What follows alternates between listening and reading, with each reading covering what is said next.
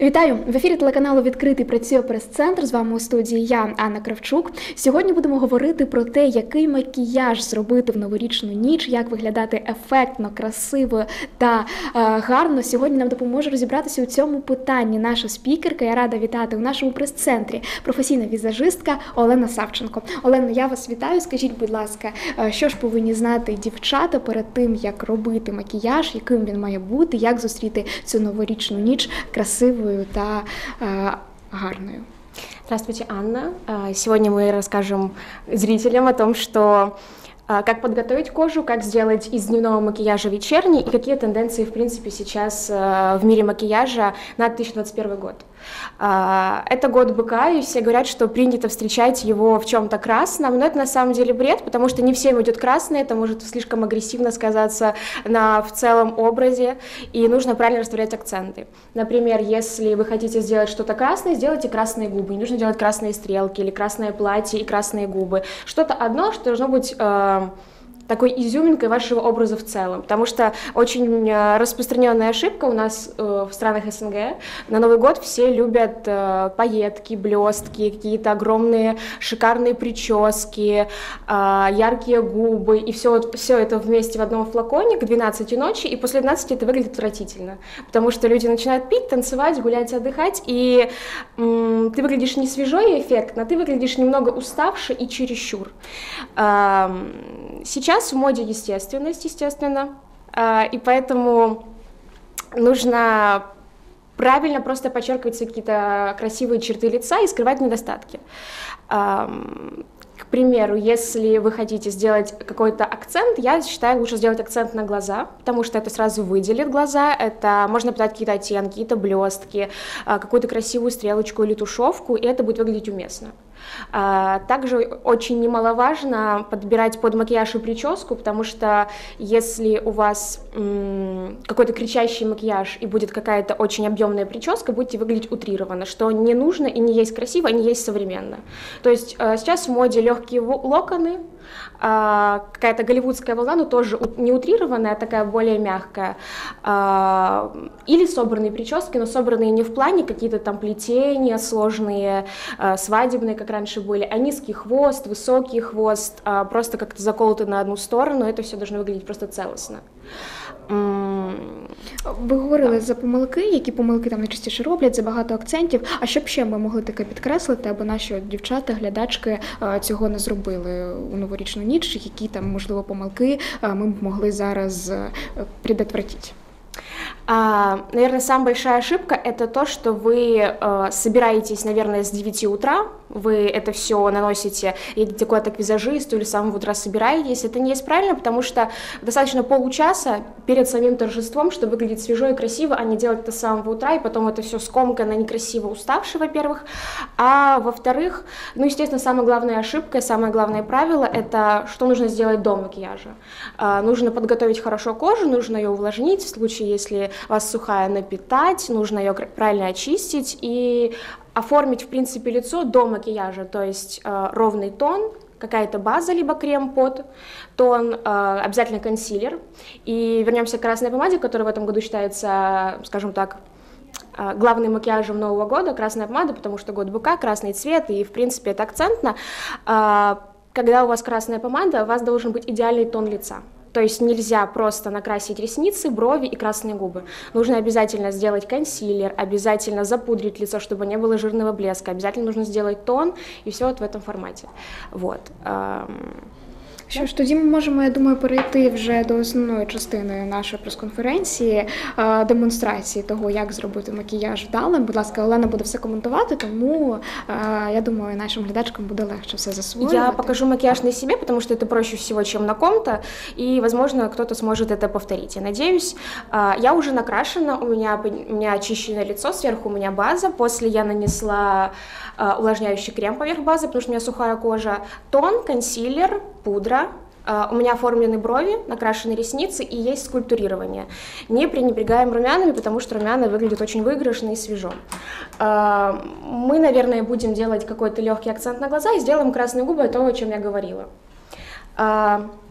А, Например, мы можем сделать какую-то монотень, взять шиммерную и нанести просто на все веко. Это можно делать пальчиком, это можно делать тенями. Мне комфортнее пальчиком. Если у вас нет какой-то подходящей кисточки, то э, нет никаких проблем. Мы возьмем вот, эти, вот этот оттенок, это будет очень... Якщо більш такою п- п- приземленою мовою, е, шимерні кольори або монотінні, чим вони А, відрізняються?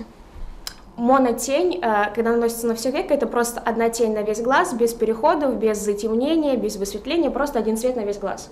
А, Матовую невозможно нанести практически пальцем, поэтому мы берем шиммерные, которые не блестят, но с легким таким вот сатиновым поблеском, если можно так назвать, и это выглядит очень ненавязчиво и симпатично. Вот.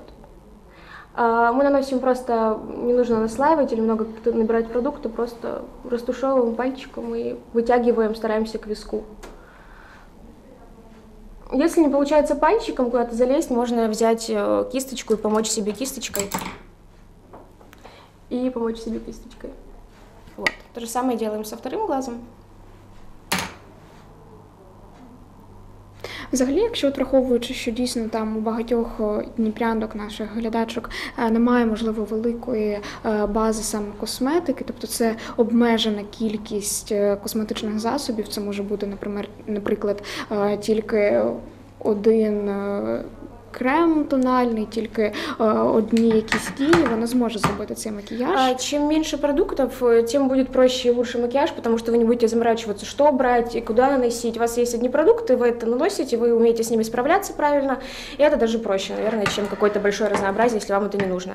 Вы нанесли монотень, а, вечерний макияж а, определяется тем, что становятся выразительны какие-то черты лица, например, глаза. Мы сегодня будем делать и глаза, и губы, но глаза так слегка. И мы нанесем также снизу а, те же тени, можно чуть светлее, просто чтобы подчеркнуть ресничный ряд.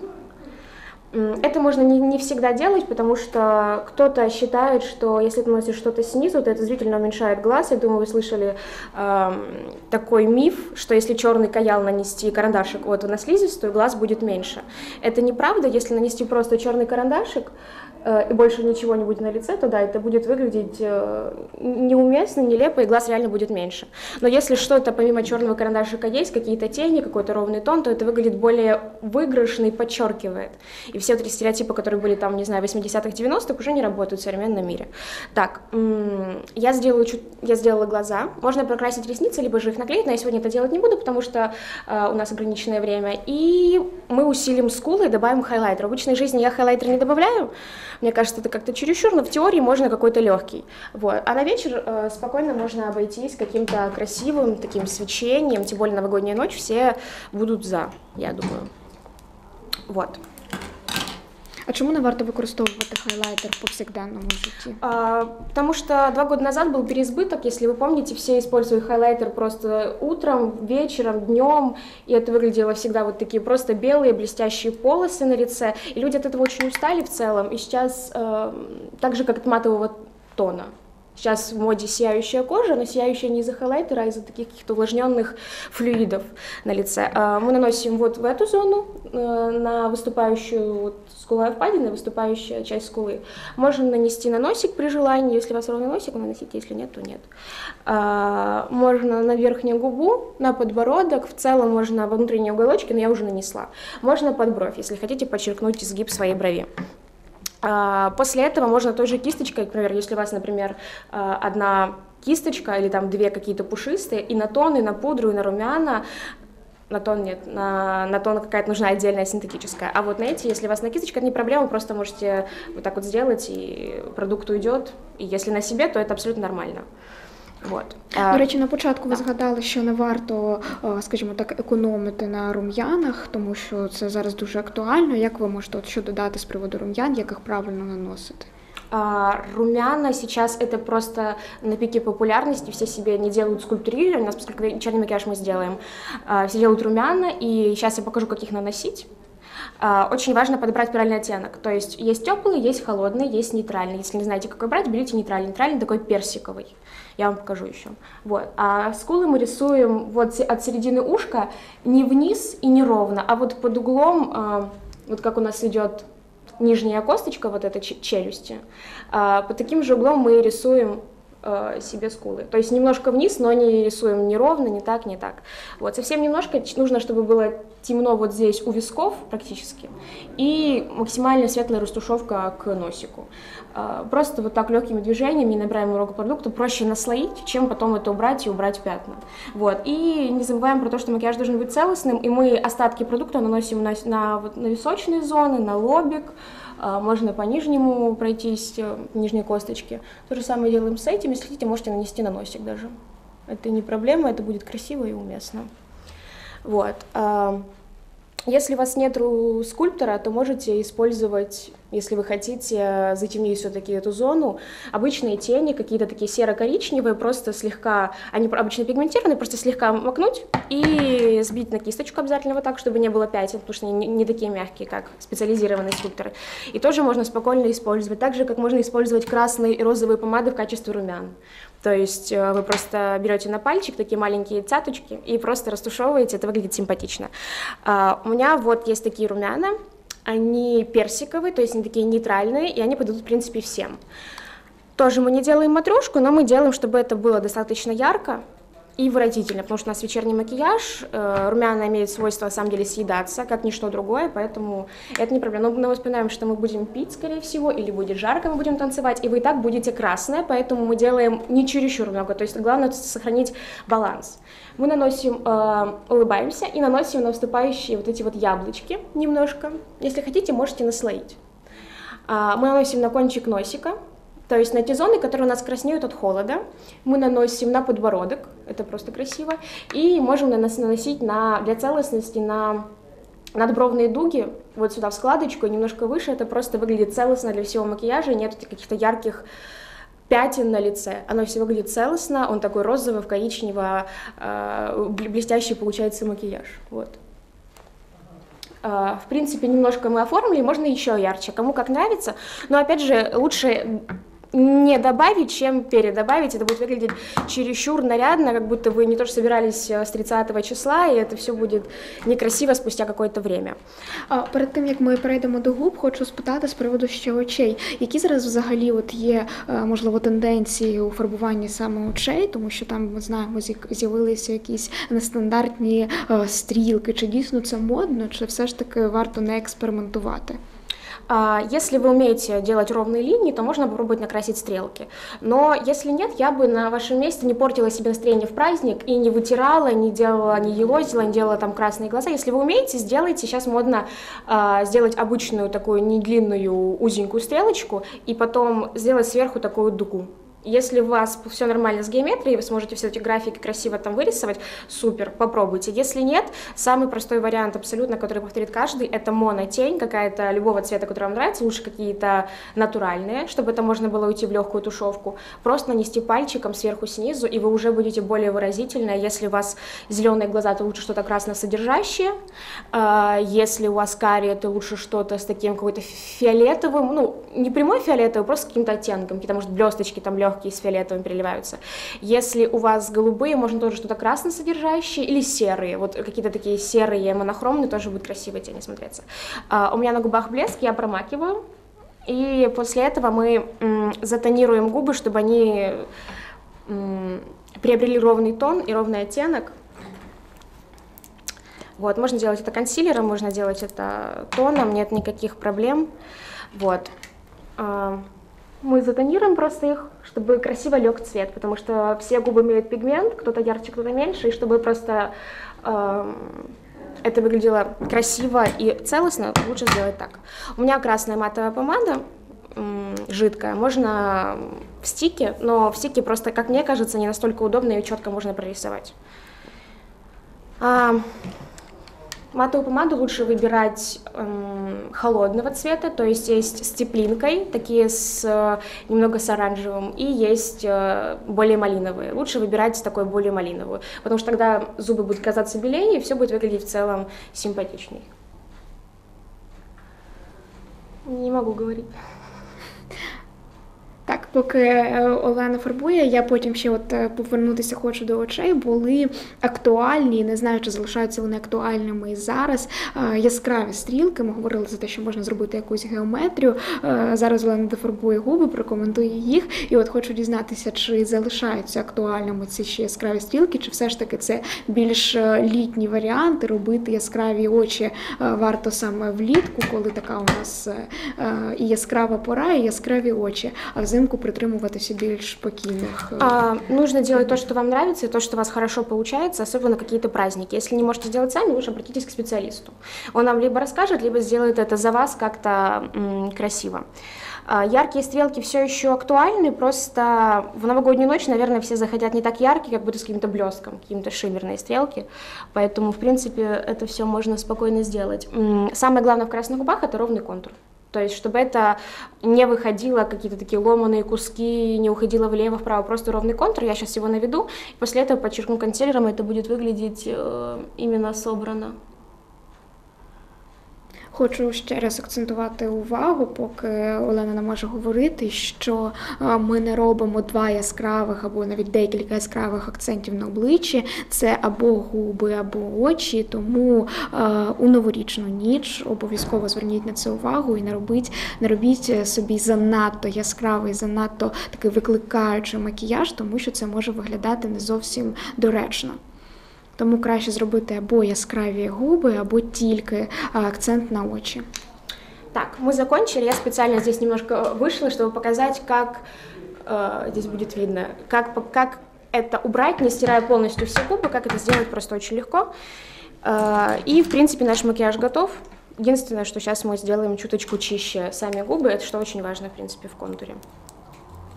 А, Можно это сделать ватной палочкой, можно сделать кисточкой, если у вас какая-то плоская, просто набираете консилер или какой-то очень плотный тон, и э, вот, на, вот там, где, нет, где есть помада, точнее, она вышла за контур, просто вы наносите вот так и растушевываете. Если не хватает, и оно все еще видно розовый, то эм, сдел- сделайте то те же самые движения два раза. То есть про- просто вы затонируете, а не будете вымазывать, вытирать мицеллярной водой или тоником эти губы. Е, Як я розумію, якщо ми будемо саме використовувати міцелярну воду, е, навпаки, ми все зіпсуємо, і макіяж буде знову виглядати таким брудним. А, Если будете использовать какие-то очищающие средства на уже готовый закрепленный пудрой макияж, то макияж м, будет нецелостным, и потом будет очень сложно его привести в былой вид, то есть он будет выглядеть, здесь пятно, которое вы вытерли, здесь пятно, которое вы затерли, Поэтому, если вы, к примеру, ляпнули, а, когда красились тушью, это очень часто момент, когда где-то на веко попала или снизу тушь, а, очень многие слюнявят палочку, вытирают, либо макают мицеллярную воду и вытирают. Это делать не нужно. Есть очень простой способ, как убрать незаметно, не стирая тон, не размазывая все в черное. А Вы ждете, пока это высыхает, примерно пару минут. Чем сильнее мазнули, тем дольше ждать. И просто сухой ватной палочкой это вытираете. И все. И не нужно ничего мазать, не нужно ничего затонировать. А, Продукт сам от себя отпадает. Это очень круто. И так со всеми тушами абсолютно. Поэтому это не с какой-то одной так выглядит. Можно усилить, сделать немножко ярче губы, можно оставить их такими, в принципе. Зараз, так як у нас ще залишається час прес-конференції, хочу, щоб ви е, після завершення ще додали з приводу зачісок, не дивлячись на те, що ви візажист, ви знаєте, як ви вже сказали, там е, зробити хвіст або зробити якісь локони чи просто вирівняти волосся. Є можливо якісь от рекомендації, щоб особисто ви порадили, можливо, в залежності від е, типу обличчя, тому що ми знаємо, там є круглі, є більш квадратні типи обличчя. А, К примеру, у меня, разберем просто типы лица, есть эм, круглые лица, например, это вот как у вас. У вас само по себе лицо достаточно овальное, и даже когда вы будете супер-супер-супер худая, а, у вас будут все равно щечки и круглое лицо, и это нормально, вы выглядите у вас такой baby face. То есть это эм, в моделинге есть такие вот моменты, что у вас baby face.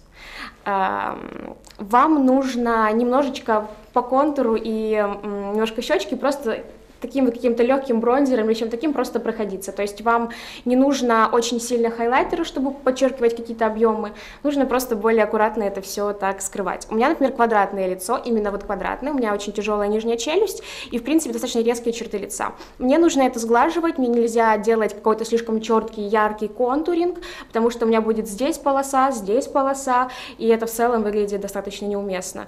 Э, и также с волосами, то есть э, когда у вас круглое лицо, многие стараются его скрыть и как-то вот прямо на него нацепить волосы, откройте какую-то одну сторону. То есть пусть у вас будет э, акцент вот на этой стороне, вы как-то красиво уложите волосы на одну сторону, заколите или как-то просто укладкой так это сделаете красиво, э, нежели вы просто вот э, наперед волосы, у вас закрытое лицо и будет это все некрасиво. А если вот у вас лицо такое более острое, то наоборот лучше соберите и сделать, придайте волосам овальную форму, то есть какие-то хвостики, какие-то собранные прически, либо назад какие-то локоны. И также девочки, у которых высокие лбы, которые не делают челки, а которые просто хотят, то сделайте просто тоже как-то на одну сторону красиво уложите одной волной, возможно, или просто как-то коси, какие-то плетения, косички, чтобы это вот было цело, целостно и гармонично смотрелось, и, естественно, макияж тоже это все скрывает, поэтому мы тонируем э, хорошо кожу, и сверху мы делаем контуринг не только здесь, но и хорошо прорабатываем лобик. То есть у кого-то маленький лобик, и мы это не трогаем вообще, как у вас, например, у кого-то высокий лоб, у меня средний лоб, поэтому я себе так немножко, а у кого-то высокий, нужно прям капитально это сделать, но, опять же, чтобы это не было чересчур. Що ж, я вдячна вам сьогодні за нашу прес-конференцію.